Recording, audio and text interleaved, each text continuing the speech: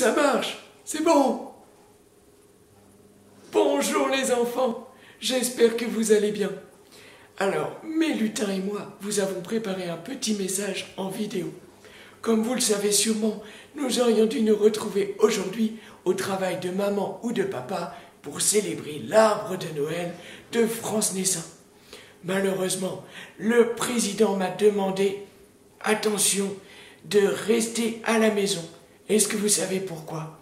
Parce qu'il veut être sûr et certain que je sois en pleine forme pour vous apporter les cadeaux le soir de Noël. Alors, je suis bien triste car j'aurais voulu vous serrer dans les bras, boire un bon chocolat chaud ou manger une barbe à papa. C'est ma gourmandise préférée.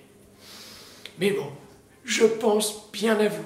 Je vous ai d'ailleurs préparé un cadeau et faudra demander à vos parents de vérifier qu'ils l'ont bien reçu.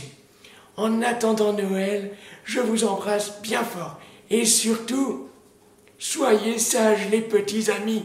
À bientôt. Ho ho ho